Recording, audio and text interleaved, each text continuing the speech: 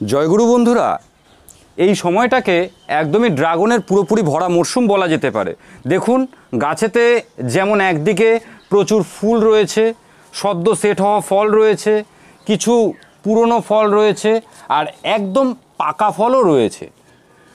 তার সাথে সাথে দেখুন বন্ধুরা, আজকে আমরা যে বিষয়ে আলোচনা করব, এগুলো কিন্তু ফুল। এই ফুল নষ্ট হয়ে গেছে। এখানে দেখুন এই ফুলটি হলুদ হয়েছে, এটিও টিকবে না, নষ্ট হয়ে যাবে। এইখানে দেখুন, এই একটি ফুল দেখুন, পুরোপুরি নষ্ট হয়ে গেছে এবং এইখানে দেখুন একটি ফুল রয়েছে, এই ফুলটিও হলুদ হয়ে গেছে, এটি কিন্তু পুরোপুরি নষ্ট হয়ে গেছে। এই দেখুন, আমি আপনাদেরকে ক্যামেরায় আসছে কিনা দেখাতে পারব কিনা জানি না, যে এইগুলো কেন নষ্ট হচ্ছে। আসছে পিঁপড়েটা? এই দেখুন, এ হলো মূল অপরাধী। এই ফুল আসার সময় থেকে শুরু করে গাছেতে পিঁপড়ের এত পরিমাণে উপদ্রব বেড়ে যায় যে এত পরিচর্যা করার পরেও যে ফুলটি গাছে আসলো তা কিন্তু পরাগায়ন করার সুযোগ আমরা পাই না। তার আগেই তা পচে, ঝরে নষ্ট হয়ে যায়। তা ড্রাগন গাছে এই পিঁপড়ের সমস্যা নতুন কিছু নয়। প্রচুর সাবস্ক্রাইবার বন্ধু এ ব্যাপারে, বাগানি বন্ধুরা এ ব্যাপারে বারংবার প্রশ্ন করেছেন যে এর কি কোনো স্থায়ী সমাধান নেই? আজকে বন্ধুরা এই সমস্যার স্থায়ী সমাধানের ব্যাপারেই কথাবার্তা বলব। তার আগে পরিচয় পর্ব সেরে নেওয়া যাক। নমস্কার বন্ধুরা, আমি মিন্টু নন্দী। আপনারা আরও একবার দেখতে শুরু করেছেন আপনাদের পছন্দের YouTube channel hobby guide Nandi.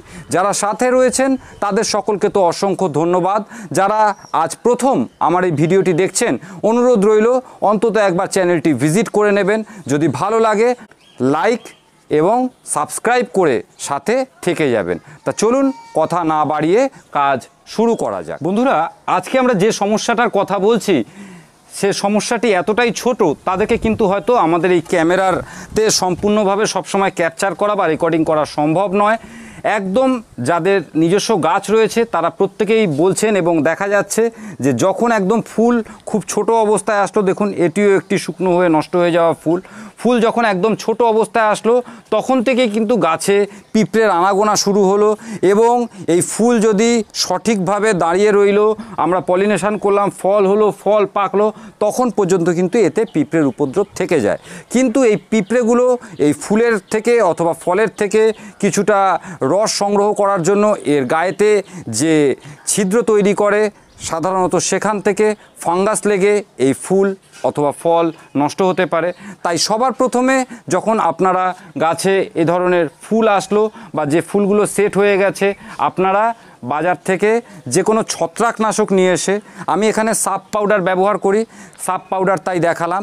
আপনারা যে কোনো ধরনের ছত্রাকনাশক নিয়ে এসে, ছত্রাকনাশকটিকে প্রতি লিটার জলে এক গ্রাম হিসেবে এটি পাউডার আছে পাউডার ফর্মে পাওয়া যায় এক গ্রাম হিসেবে মিশিয়ে আপনারা গাছে খুব ভালোভাবে স্প্রে করে দিন।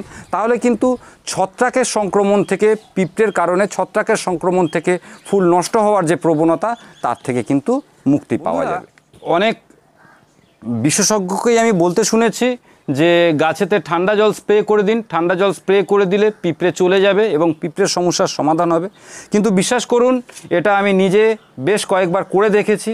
ঠান্ডা জল দিলে পিঁপড়ে হয়তো চলে যাচ্ছে, কিন্তু তাদের ফিরে আসতেও কিন্তু সময় বেশি লাগছে না।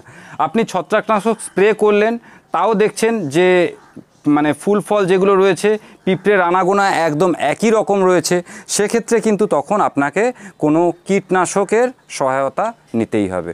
আমি যেমন এখানে উস্তাদ ব্যবহার করি, আপনারা লিটার প্রতি এক এমএল ওষুধ ব্যবহার করবেন, এক লিটার জলে এক এমএল হিসেবে মিশিয়ে নিয়ে গাছে খুব ভালোভাবে আপনারা স্প্রে করে দেবেন এবং এই রকমভাবে আপনি যদি পনেরো দিন বা কুড়ি দিনে একবার করে, দুবার স্প্রে করে দিতে পারেন, তাহলে কিন্তু গাছে আপনি আর এই পিঁপড়ের উপদ্রব দেখতে পাবেন না।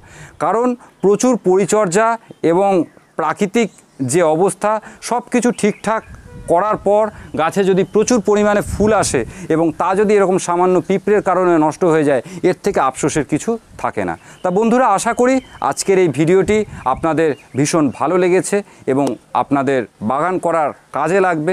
ড্রাগন গাছে প্রতিনিয়ত অনেকেই বলছেন যে, আমি পলিনেশন করেছি তারপরেও ফুল নষ্ট হয়ে যাচ্ছে।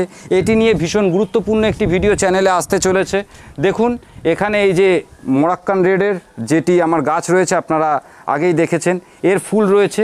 এর ফুলের দেখুন রঙটি আলাদা। এর পাশেই দেখুন একটি অন্য নতুন আইডির ফুল। এই গাছটি আমি এবছরই প্রতিস্থাপন করেছি। দেখুন দুটো ফুলের তফাত দেখলেই বুঝতে পারছেন। এটি এই ফুলটি ইয়োলো বলে আমার একজন পরিচিত কিনে নিয়ে এসছে, কিন্তু হ্যান্ড পলিনেশান করার পরেও এতে ফল হচ্ছে না। তাই এখন যেহেতু এতে দেখতেই পাচ্ছেন একই সাথে ফুল ফুটবে, খুব শিগগিরই কিন্তু চ্যানেলে আসতে চলেছে ক্রস পলিনেশনের ভিডিও। যা কিন্তু ইতিপূর্বে আপনারা ইউটিউবে অন্য কোনো চ্যানেলে দেখেননি।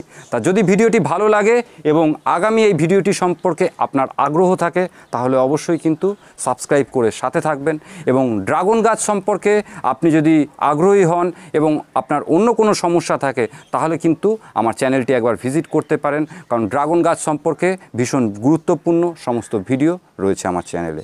সকলে ভালো থাকবেন, সুস্থ থাকবেন, সাবধানে থাকবেন এবং আনন্দের সঙ্গে বাগান করবেন। Happy gardening friends